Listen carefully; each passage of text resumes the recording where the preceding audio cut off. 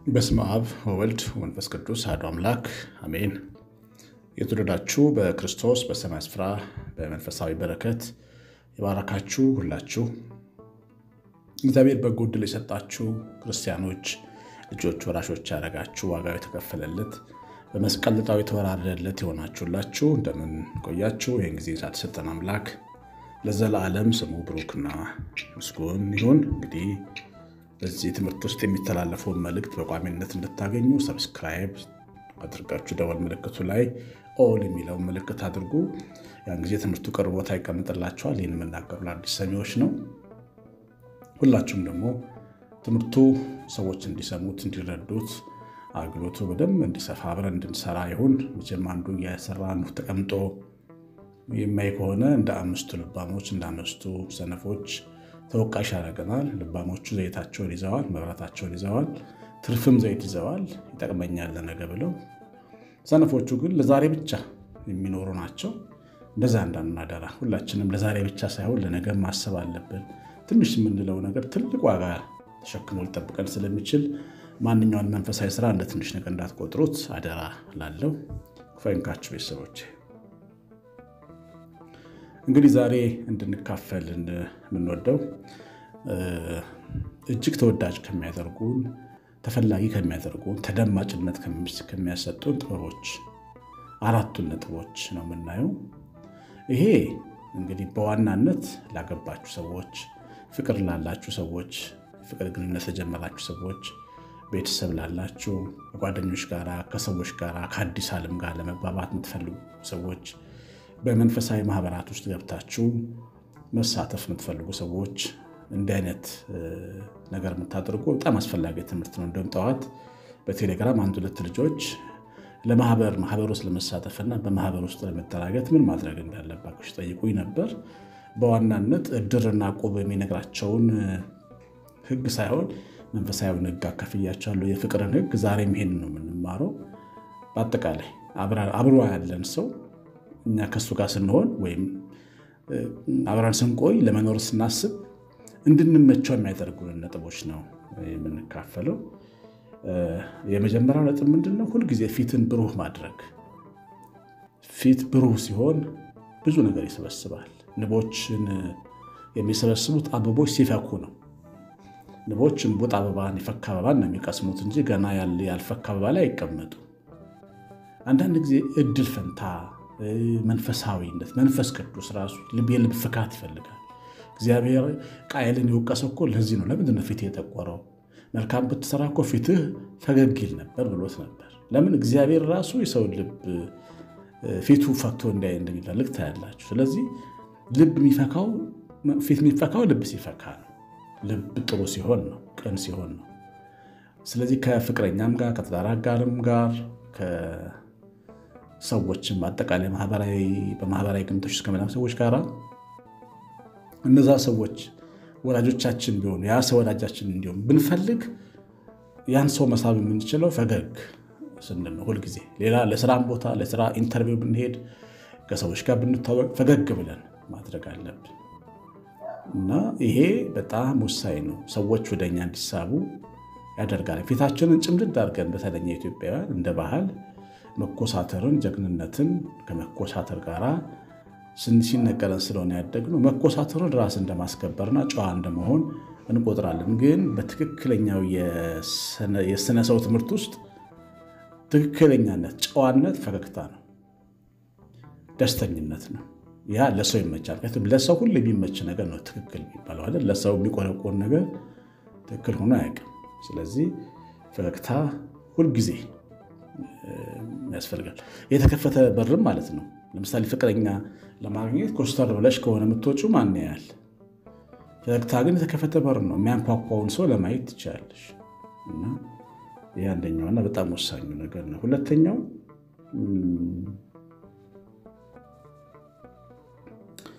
መውቀስን ማቆም ወቀሳ የሚባል ጥፋተኛ ነህ የሚለውን ጥፋተኛ ነሽ የሚለውን ተደጋጋሚ ተችነትን ማቆም ያስፈልጋል። ሰው ሁልጊዜ ጥፋተኛ ነህ ባይባል ደስ ይለዋል። ጥፋተኛ እንኳን ቢሆን በዘዴ ነው የሚነገረው እንጂ ጥፋተኛ ነህ፣ እንደዚህ ታደርጋለህ፣ ቀጠሮ አታከብርም፣ አንተ ብዙ አትደውልልኝም፣ ስልክ አታነሽም፣ አንተ እንደድሮ አይደለም፣ ጊዜ አትሰጠኝ። እነዚህ እነዚህ ነገሮች በአጠቃላይ ሲደመሩ አንተ ጥፋተኛ ነህ ማለት ነው እና ጥፋተኛ ነህ መባል ደግሞ ሰው አይናፍቅም። ለምሳሌ ሁሌ ጥፋተኛ ነህ እኮ አንተ እንዴት ታደርጋለህ? ትቀራለህ፣ አትፈልገኝ፣ ትረሳኛለህ፣ ቦታ አትሰጠኝም፣ ጊዜ አትሰጠኝም እያለች በተደጋጋሚ የምትወቅሰው ከሆነ የሚያገኛት ልጅ እሷ ጋር የመምጣት ፍላጎቱ እየሞተ እየሞተ ይመጣል። ለምን? መወቀስን ማንፈልግ የእኛ ስነ ልቦና መወቀስ የሚፈልግ አይደለም። መወቀስ እንኳን ቢገባ እና ተፈላጊነታችንን ሊጨምር የሚችለው እሱን ነገር መቀነስ ጥፋተኛ ነህ እንዲህ ነህ እንዲህ ነህ ማለትን መቀነስ አለብን። ሌላ መንገድ አለ፣ ሰውን ማስተካከያ መንገድ፣ ሌላ መንገድ፣ የተሻለ መንገድ አለ። እሱን ለማድረግ ያው ኩራትን ማሸነፍ ነው። ሰዎች ኩራታቸውንም ፍቅራቸውንም አንድ ላይ ማስኬድ ሲጀምሩ ነው ጥፋተኝነት ስሜት እንዲሰማው የምናደርገው። ለምን በፍቅር ብናገለግለው ወይም ደግሞ በጣም በፍቅርና በሳቅ በሚገባው መንገድ ብናገለግለው የተለማመጥነው እንደሆነ ይሰማዋል ብለን ስለምንሰጋ በጣም ሀርደኛ መሆኑን እንመርጣለን። ያ ደግሞ ተፈላጊነታችንን በጣም ነው የሚቀንሰው። ስለዚህ አብረን ስንኖር ከሴትም ልጅ ጋር ከወንድም ጋር አጠቃላይ ከሰው ጋር ወቃሽነትን በጣም መቀነስ ያስፈልጋል። አሰልቺ እና ሰዎች የሚደክሙበት ደካማ ጎን ባህሪ ነው። ሶስተኛው ነገር ምንድን ነው? ከዚህ ቀደም ማስቻለሁ መደነቅ፣ ማድነቅ ማድነቅ በጣም ትልቅ ጥቅም አለው። ማድነቅ ሰዎች የሚወዱትን ነገር እያዩ ወደ እናንተ መልካም ሀሳብ እንዲመጡ ያግዛቸዋል። የድሮ ጊዜ የግሪክ ዘመን ሰዎች በሬዎችን ወደ ቄራ ይዘው የሚሄዱት ለምለም ሳር እያበሉ ነው ይባላል። ከፊት ከፊት ሳር የያዘ ሰው ይሄዳል። እሱን እያዩ በሬዎቹ ቀጥ ብለው ወደሚፈልጉበት ወደ በረታቸው ወይም ወደሚታረዱበት ይገባሉ። ያ ምንድን ነው? ሰዎች የሚወዱት በሬዎች የሚወዱት ሳሩን ነው። እኛም ሰዎች የሚወዱትን ነገር እየሰጠን ሰዎችን ወደ መልካምነት ልናመጣቸው እንችላለን። ቀደም እንዳልነው ወቀሳውን እናቆምና በማድነቅ ያ ሰው እዛ ሰው ውስጥ ያለው መልካም ነገር ምንድን ነው? ጓደኛሽ ውስጥ ያለው መልካም ነገር ምንድን ነው? ባለቤት ውስጥ ያለው በጣም የማይቆጠር በጣም ብዙ መልካም ነገር ምንድን ነው? ሚስት ውስጥ ያለው መልካም ነገር ምንድን ነው? ጓደኛ፣ ፍቅረኛ ወይም normal ጓደኛ፣ የስራ ባልደረባ፣ በጣም አብሮ የሚሰራ ጓደኛ፣ እሱ ውስጥ ያለው መልካም ነገር ምንድን ነው? እሱ በደንብ ለይተህ ጽፈህ ወይም ጽፈሽ ያን ጉዳይ በደንብ አስበህበት በሚገባው ቋንቋ ለሰውየው ይሄ በጣም ድንቅ ነገሩ እንደሆነ የማይገኝ መልካም ባህሪ እንደሆነ እያስረዱ ወደ ቁም ነገር ማምጣት የተሻለ ነው። የመጨረሻውና አራተኛው ነገር አብረን ስንሆን ብዙ ጊዜ ስለሚፈልጉት ነገር ጭምር ማውራትና ሀሳብ ማንሳት።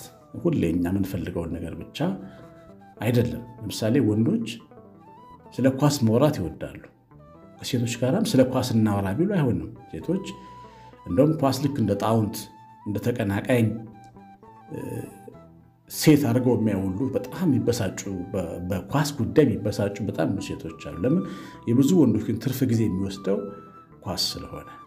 እንደዚህ በጣም የሚጠሉትን ጉዳይ አምጥተህ ዛሬ ማንቸስተር እንዲያደረገ ሊቨርፑል ቼልሲ እንዲያደረገ ብትል ስርጭት የሚል ነገር ነው ያንተና የሷ ግንኙነት የሚሆነው ማለት ነው። አንተ ስለ እሷ እሷ ጋር ማውራት ያለብህ እሷ ስለምትፈልገውም ነገር ነው። ምክንያቱም እሷ የምትፈልገው ነገር ስታነሳላት ትኩረት እንደሰጣትና ዋጋ እንደሰጣት እንዲሰማት ያደርጋል። አንቺም ልክ እንደዚሁ ከእሱ ጋር ስትሆኙ ስለሚፈልገው ነገር ጭምር ማውራትን መልመድ ያስፈልጋል። ደስ እንዲለው እንደ ጓደኛ እንዲያይሽ ያደርገዋል። ለምሳሌ አሁን አንቺ ኳስ ሴቶች ኳስ አይወዱም ማለት ግን ከወንድ ጋር የመኖር ፍላጎት በትክክል ያላችሁ ሴቶች ከሆናችሁ ስለ ኳስ ትንሽ እውቀት ይኖራችሁ። ቢያንስ እሱ ሌላ የሚያወራ ሰው ፍለጋ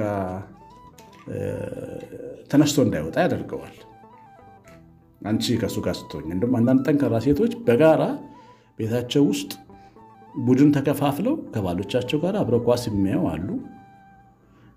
ባሎችም ደግሞ ከሚስቶቻቸው ጋር አንዳንዴ ጥሩ ጥሩ ሲኒማዎችን ማየት የሚወዱ አሉ።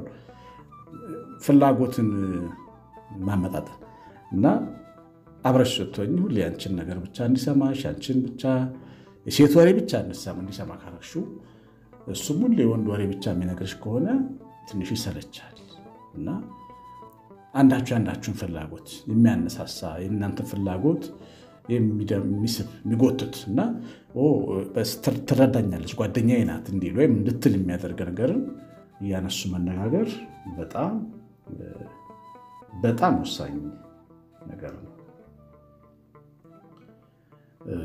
ያን ስንናገር ሰውየው ምን እናደርገዋለን?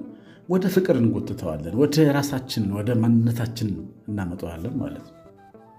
የሚፈልገውን ነገር በማሳየት አንድ ሕፃን ልጅ በጣም መማር ያስቸግራል። አልማርም፣ ትምህርት ቤት ቤት አልፈልግም ይላል። አንድ ቀን ትምህርት ቤት የሄደው ሲመለስ ጠላው። ቤት ውስጥ ያለው እንክብካቤ፣ ቤት ውስጥ ያለው ነገር ትምህርት ቤት ውስጥ ስለሌለ መሄድ አልፈልግም ብሎ በጣም አስቸገረ እና በኋላ የስነ ልቦና ባለሙያዎችን አማከሩ ወላጆች። ከዛ እስቲ በጣም የሚወደው ነገር ምንድን ነው? የሚወደው ቀለም ምንድን ነው የሚወደውን ቀለም orange ቀለም፣ ብርቱካናማ ቀለም እንደሚወድ ይነግሯቸዋል። እነዛ ሰዎች ብዙ ነጭ ወረቀትና በጣም ደማቅ orange color ይዘው ይመጣሉ። ከዛ ቤት ወለሉ ላይ ቴራሱ ላይ ልጁ ያንን ወረቀት ይበትኑና በእጃቸው በብሩሽ ያንን pink orange ቀለም ሲቀቡ በጣም ይጓጓል። ያን ቀለም በጣም ይወዷል ቀለሙን። በዛ ላይ ቀለም አቀባባቸው በጣም አጓጓው እና ካልነካው ብሎ ሲል አይ መንካት አትችልም ማለት ለምን አላቸው። ይሄንን እኛ ትምህርት ቤት ስለሄድን ነው ይህን ቀለም መቀባት የቻልነው ትምህርት ቤት በመሄዳችን ነው። አንተ ደግሞ ስላለ ትምህርት ቤት ይህን ቀለም ልቀባት አትችልም። መማር የምትችለው ይህን ቀለም መንካት የምትችለው ትምህርት ቤት መሄድ ስትችል ነው። ያኔ ትምህርት ቤት ያስለምድሃል ሲሉት እሺ አለ። ሄደ አደረበት። ሌሊት ተነስቶ ቦርሳውን ይዞ ሶፋ ላይ ቁጭ ብሎ ጠበቃቸው። ምን ሆነ ነው ማሙ ሲባል አይ ትምህርት ቤት መሄድ እፈልጋለሁ አለ። እነዚህ ሰዎች ትምህርት ቤት እንዲሄድ ያደረጉት የሚወደውን ነገር አሳይተውት ነው። ሁሌ ፍቅርም ከፍቅረኛችንም ከትዳር አጋራችንም ጋር ስንሆን ሁሌ እኔም ብቻ በቃ እኔም ወደውን ብቻ ክፈት፣ እኔም ወደው ቻናል ይከፈት፣ እኔም ወደው ምግብ ይሰራ፣ እኔም ወደው ወሬ ይነሳ፣ እኔም ወደው ዘመድ ይምጣ። እንዲህ ሲሆን ይበላሻል። እሱ የሚወደውስ እሷ የምትወደውስ መቀላቀል እሷ የምትወደውን ነገር እንዲሰማ ወደ እሱ እንድትጎተት የሚያደርጋትን ወሬዎች፣ ጨዋታዎች ማምጣት ይህ በጣም አብሮ ለመቆየት መቆየትን ለማርዘብ ፍቅርን ለማሳደግ ተፈላጊነትን ለመጨመር እጅግ የሚያግዝ ነጥብ ነው። ቆየን። የሰማነውን በልባችን ጻፈልን። ክፉ ቤተሰቦች።